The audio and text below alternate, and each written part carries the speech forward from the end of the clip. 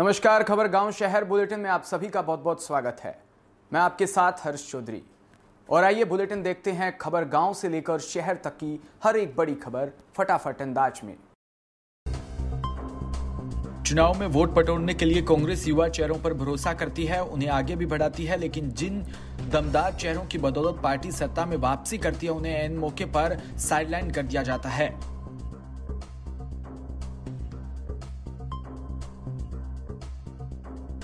जैसे कि आंध्र में जगन मोहन रेड्डी हो या एमपी में ज्योतितर, ज्योतिरादित्य सिंधिया हो, राजस्थान में सचिन पायलट या फिर उत्तराखंड में प्रीतम सिंह। कांग्रेस में ट्रेंड लगातार देखने में आ रहा है। कांग्रेस आलाकमान ने एक बार फिर कुछ ऐसा ही दांव पंजाब में खेला है। तीसरी बार के विधायक और 45 साल के अमरिंदर सिंह राजा वडिंग को पंजाब कांग्रेस का प्रधान बनाया गया। सवाल उठ रहा है कि 2027 में यदि सत्ता में वापसी होगी तो क्या कांग्रेस राजा वडिंग पर भरोसा जताएगी? पाकिस्तान में इमरान सरकार गिर गई, इसी के साथ करीब एक महीने से जारी सियासी घमासान फ़िलहाल थम गया है। इसी के साथ विपक्ष की ओर से नेता घोषित पीएमएलएन की नेता शहबाज शरीफ पाकिस्तान के पीएम बन गए। देखा जाए तो इमरान के कार्यालय, कार्यकाल के दौरान भारत और पाकिस्तान के रिश्ते काफ़ी खराब हो रहे हैं। ऐसे में एक्सपर्ट का मानना है कि पाकिस्तान में नई सरकार आने के बाद दोनों देशों के रिश्तों में एक बार फिर गर्म जोशी आ सकती है। हालाँकि इसका सारा दरोमदार पाकिस्तान की सेना पर होगा। बीकानेर के कोलायत में पंचायत समिति के सभागार में सभागार में सोमवार को राजस्थान सरकार में ऊर्जा मंत्री भंवर सिंह भाटी ने उपखंड स्तरीय अधिकारियों व क्षेत्र के जिला परिषद पंचायत समिति सदस्य व सरपंचों ने भाग लिया।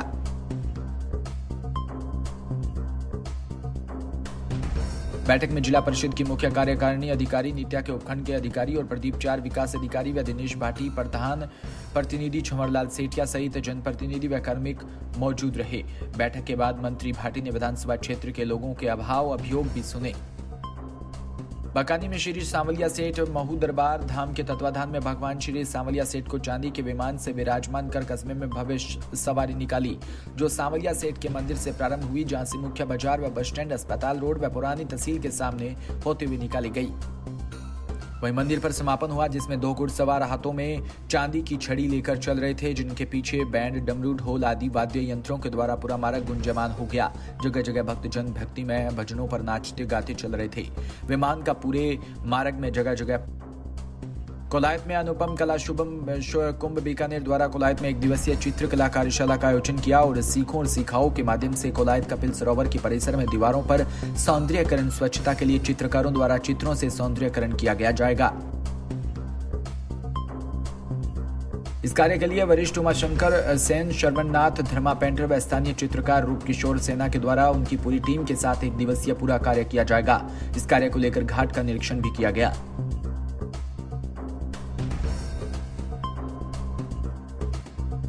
कपिल मुनि के मंदिर से लेकर हनुमान जी के मंदिर तक यह चित्रकारी की जाएगी। उमा शंकर और रूप किशोर ने बताया कि 17 अप्रैल 2022 से सुबह नौ बजे से शाम पाँच बजे तक यह कार्यक्रम किया जाएगा।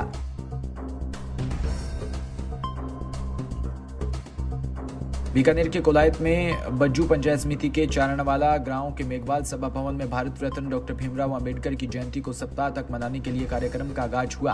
आयोजित कार्यक्रम में समाज सुधारक महात्मा ज्योतिबा फूले जयंती पर व भारतीय संविधान निर्माता कार्यक्रम के मुख्य अतिथि के रूप में भीम आर्मी जिला अध्यक्ष कैलाश चंदेल उपस्थित रहे। इस दौरान जिला अध्यक्ष चंदेल ने महात्मा बताया कि महात्मा ज्योतिबा फूले व बाबा साहब की जीवनी पर प्रकाश डालते हुए कहा कि शिक्षा के बिना आगे बढ़ना संभव नहीं। वहीं विशेष रूप से महिला शिक्षा को बढ़ावा देना अति आवश्यक है। साथ ही सत्रह अप्रैल को बज्जू में आयोजित होने वाली अंबेडकर जयंती के कार्यक्रम में पहुँचने के लिए अपील भी की और चारण वाला सरपंच प्रतिनिधि हुक्माराम नायक व पूर्व सरपंच प्रतिनिधि प्रताप सिंह भाटी, पंचायत समिति सदस्य ईश्वर लाल मेघवाल, भीम आर्मी ग्रामीण अध्यक्ष झालावाड़ ज़िले के बकानी क्षेत्र के सरकारी कार्यालयों का आज जिला कलेक्टर भारतीय दीक्षित द्वारा निरीक्षण किया गया, जिसमें सर्वप्रथम तहसील कार्यालय में पहुंचकर वहाँ की कार्यप्रणाली के बारे में तहसीलदार भेरू सिंह मीना व नायब तहसीलदार सत्यनारायण गुप्ता से संपूर्ण जानकारी ली। कार्य को बेहतर तरीके से करने के लिए उन्हें दिशा निर्देश दिए, जिसके पश्चात पंचायत समिति कार्यालय पहुँचे, जहाँ विकास अधिकारी समय सिंह मीना व अभियंता रमेश वर्मा से सरकार की जन कल्याणकारी योजनाओं के बारे में बात की।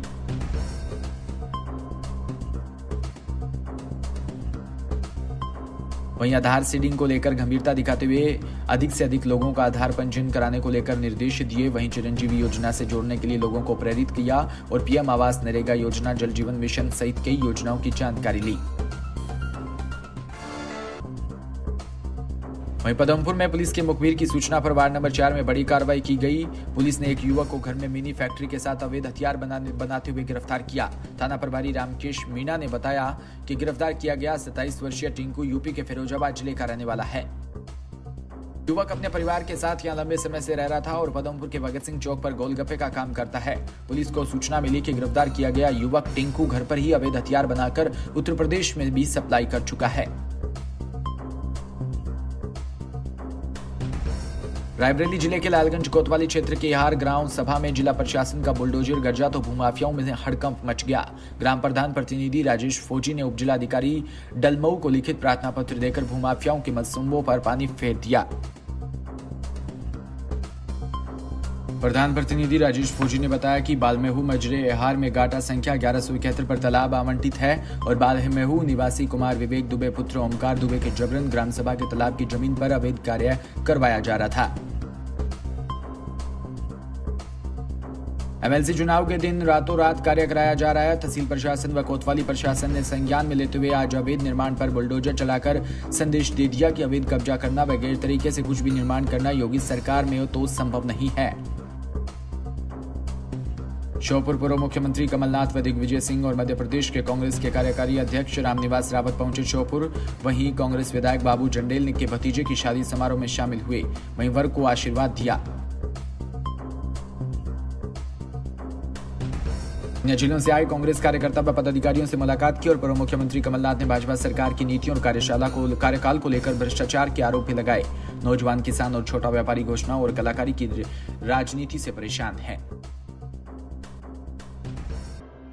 बीते दो सप्ताह से भीषण गर्मी से जूझ रहे राजस्थान के लोगों के लिए राहत की खबर, प्रदेश में आज मौसम में बदलाव से आसमान में हल्के बादल छा गए। इससे 45 डिग्री सेल्सियस तापमान में तप रहे राज्य के कई शहरों में पारा तीन डिग्री सेल्सियस तक गिर गया। मौसम विशेषज्ञों की माने तो इस बदलाव से बीकानेर संभाग में तेज स्पीड के साथ धूलभरी हवाएँ चल सकती है। वहीं गंगानगर, हनुमानगढ़ बेल्ट में कहीं कहीं हल्की बूंदाबांदी होने की भी संभावना है। मौसम विशेषज्ञों की माने तो जम्मू कश्मीर की तरफ़ एक पश्चिमी विक्षोभ एक्टिव हो रहा है। इसके कारण उत्तर भारत के हिमाचल, जम्मू, लद्दाख में 14 अप्रैल तक आसमान में बादल छाए रहेंगे। गरज के साथ कुछ इलाकों में हल्की बौछार हो सकती है। इसे विक्षोभ का प्रभाव उत्तर और पश्चिमी भारत के मैदानी इलाकों में भी पड़ रहा है।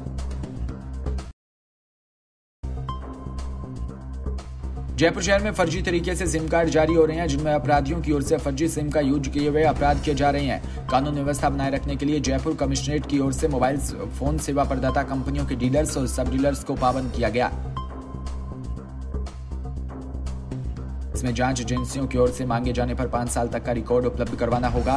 Additional police commissioner Haider Ali Zaidi ने बताया कि जानकारी मिली जयपुर शहर में काफ़ी संख्या में मोबाइल फ़ोन सेवा प्रदाता कंपनियों के डीलर्स और सब डीलर्स की ओर से दूसरों के नाम से किसी अन्य के पहचान पत्र दस्तावेज़ आदि का गलत यूज़ किया जा रहा है। फ़िलहाल इस बुलेटिन में इतना ही और तमाम खबरों के लिए आप जुड़े रहिए हमारे साथ। नमस्कार।